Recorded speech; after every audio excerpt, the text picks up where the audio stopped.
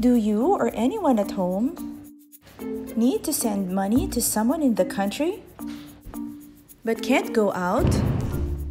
Or don't want to wait in line?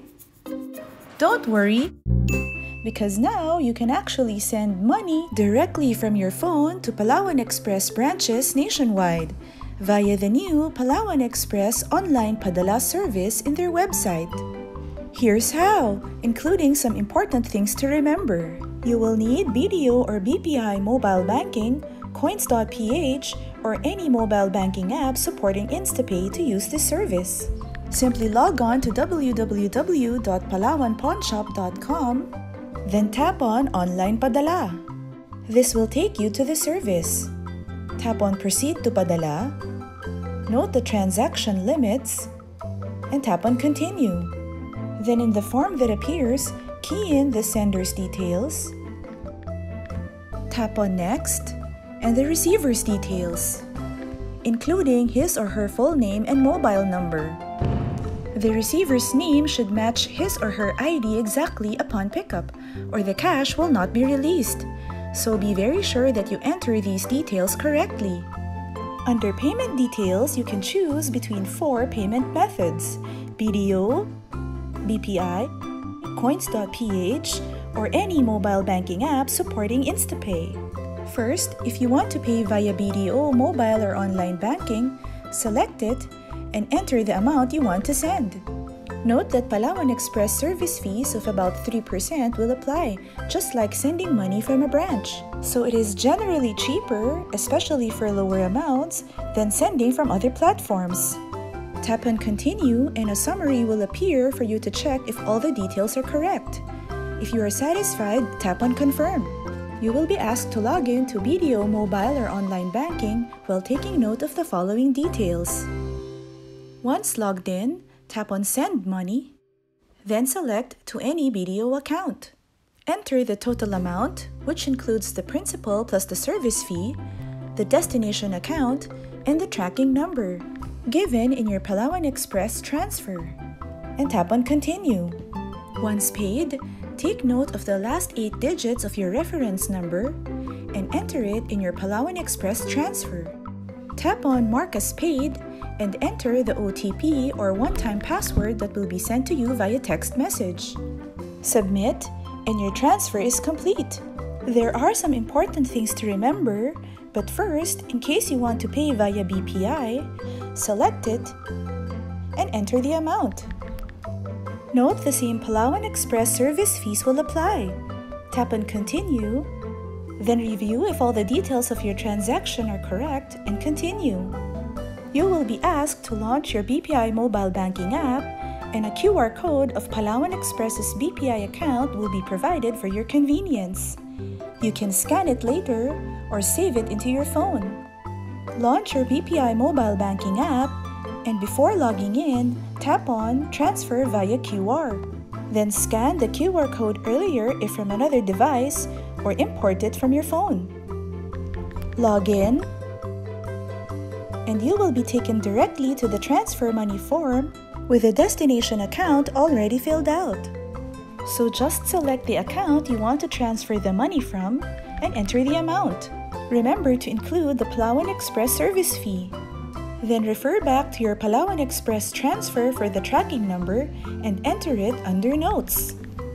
Tap on Next, then check if all the details are correct. Then tap on Confirm. A one-time PIN will be sent to your registered mobile number. Enter and tap on Submit. Once the money has been transferred, look for the confirmation number at the bottom of the screen. Copy and enter it in your Palawan Express transfer. Mark as paid, then enter the verification OTP sent to the sender's given mobile number and tap on Submit. Your transfer is complete. Now if you want to pay via coins.ph, under Payment Details, select it and enter the amount. The same Palawan Express service fees will apply. Continue and check if all the details in the summary is correct. Continue, then take note of Palawan Express's coins.ph mobile number and your tracking number for this transfer. Log in to your coins.ph account, tap on Send, and select Send via email, SMS, or Facebook. And in the form that appears, enter Palawan Express's coins.ph mobile number, the total amount including the service fee, and the tracking number for your transfer, given in your Palawan Express transfer. Then slide to Send.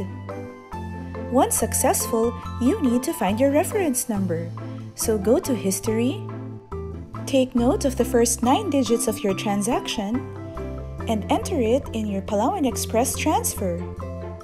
Mark as paid and enter the OTP that you will receive via text message. Submit, and your transfer is complete.